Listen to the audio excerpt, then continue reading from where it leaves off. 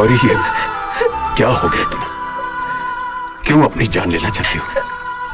अब तो हमारी शादी भी तय हो गई थी। इसीलिए मरना चाहती हूँ, ताकि तुम्हारे साथ शादी करने से बच सकूँ। फांसी की सजा पाने वाले से भी उसकी आखिरी इच्छा पूछी जाती है। मगर तुम्हारे पिताजी ने ना तो मेरी पहली इच्छा पूछी, ना आखिरी। क्यों?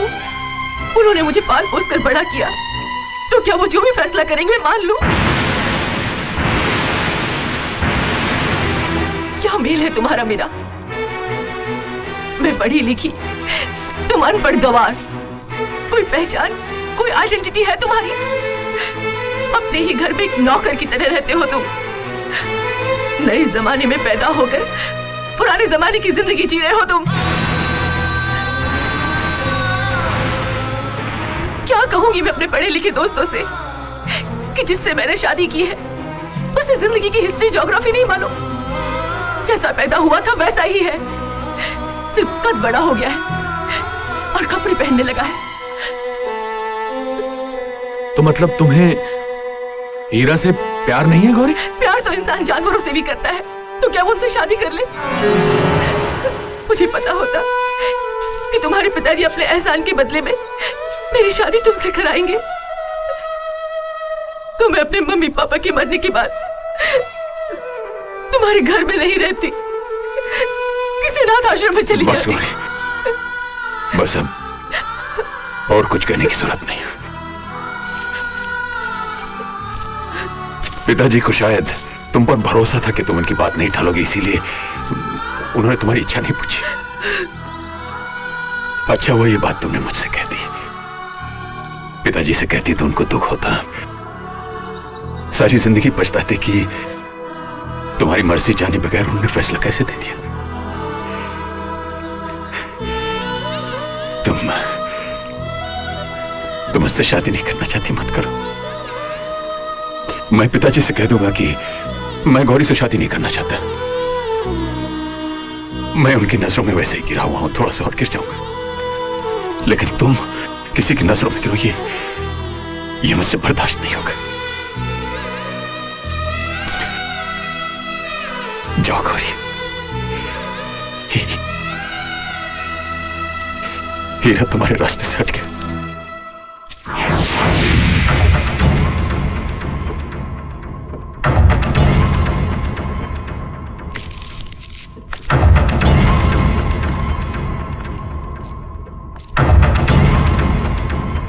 हुआ जिसका हमें शक था। कभी न दिखाई देने वाला भगवान हमें हर रंग में नज़र आता है मगर इस नालायक का कोई भी रंग हमारी समझ में नहीं आता। हीरा क्या हुआ? तुमने तो कोई सवाल मत मांगना। हमें इससे सिर्फ़ एक सवाल का जवाब चाहिए। ये गौरी से शादी करेगा या नहीं?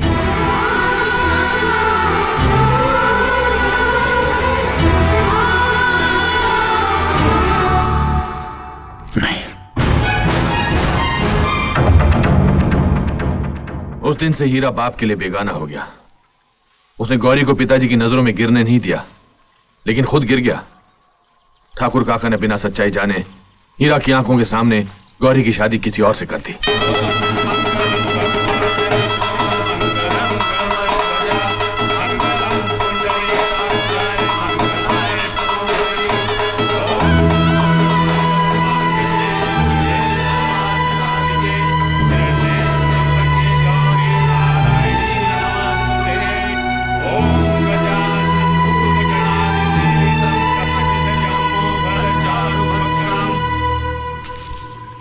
हीरा ने प्यार का दिया तो जलाया था, मगर बेचारे के हाथों में सिर्फ़ अंधेरा ही आया। मेरी तुमसे एक विनती है। अगर तुम हीरा के घाव नहीं भर सकती तो कम से कम उन्हें कुरेदना भी मत।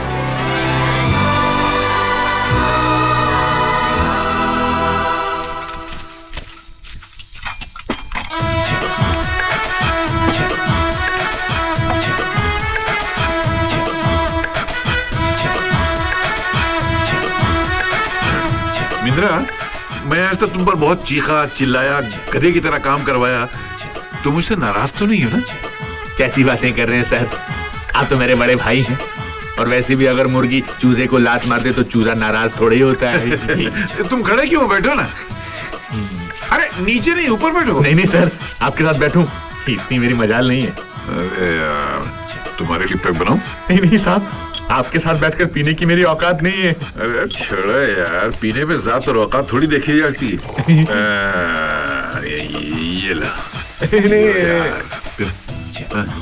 नहीं यार, आपकी इज़्ज़त की खातिर पी रहा हूँ।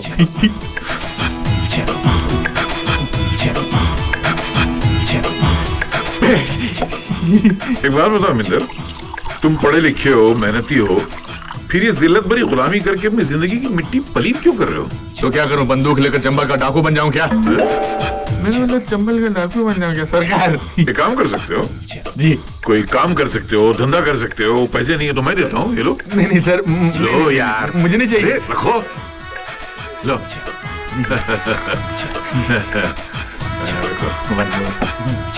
अब एक बात बताओ मित्रा। जी। ये जो लड़की अभी आई थी ये सब रख के गई है। हम्म, ये कैसी है? लड़की जैसी है।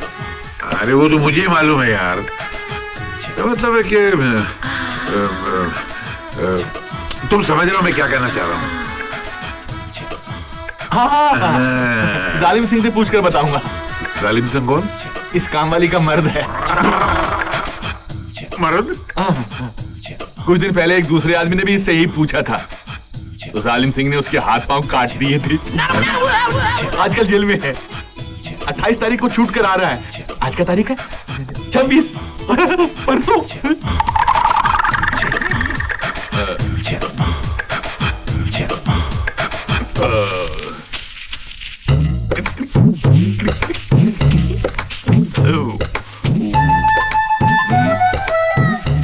तो मिलिट्री, चल एक सिगरेट दे। मिलिट्री? सिगरेट दे अरे जल्दी कर। अरे। हम्म। हाँ। जलाएगा कौन तेरा बाप? हाँ?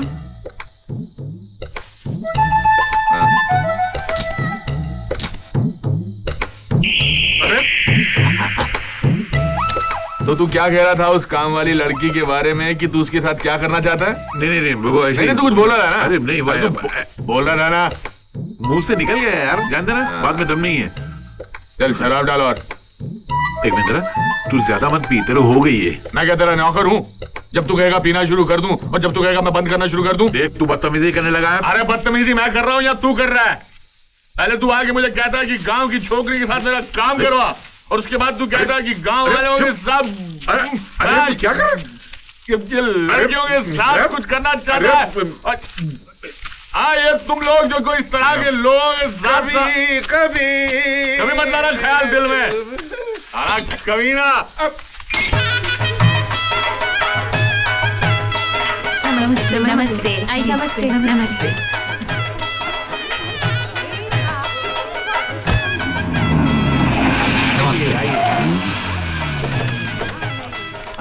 Welcome Mohan. Hello Bharat hello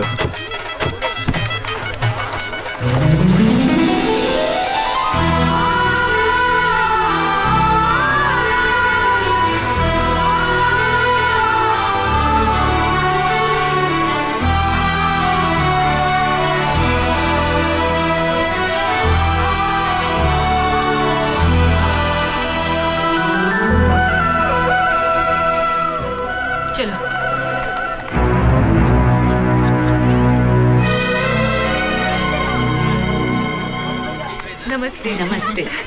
कैसी हो? अच्छी मोहन कहाँ है?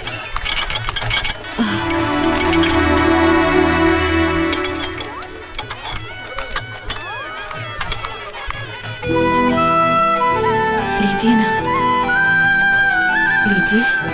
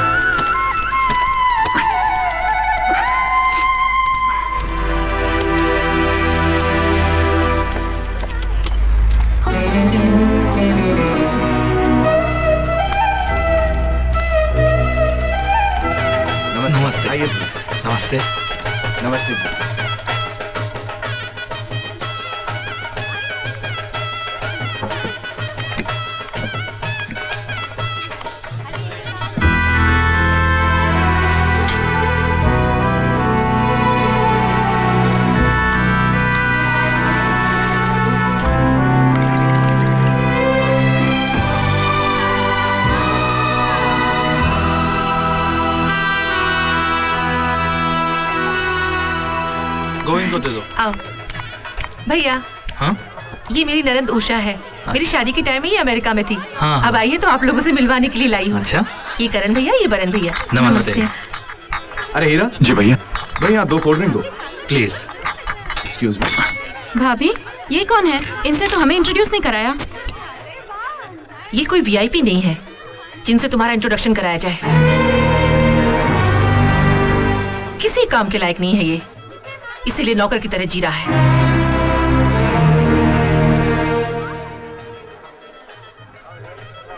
थैंक यू हीरा जी एक मिनट रुकिए। माधुरी कविता रानी जरा यहाँ आना। मैं आप लोगों से कह रही थी ना एक इम्पोर्टेंट आदमी से मिलवाती हूँ। यही है वो हीरा ठाकुर। हीरा जी ये मेरी सहेलियाँ हैं। माधुरी कविता रानी नमस्ते। सीता। ये देखने में जितने सिंपल हैं उतनी ही बड़ी हस्ती है इनकी। अगर हम लोग किसी को भीख देंगे तो क्या देंगे? रोटी, पैसा, कपड़ा, ये ज़्यादा से ज़्यादा उसे अपने घर में पालेंगे। लेकिन ये वो इंसान है जिन्होंने अपने सपने, अपनी खुशियाँ भीख में दे दी। उस भीख को लेने वाले इनके एहसान को भूल गए। मगर इन्होंने कभी बुरा नहीं माना। इतनी महान है ये। आप जाइए ना। आओ, हम चलते हैं।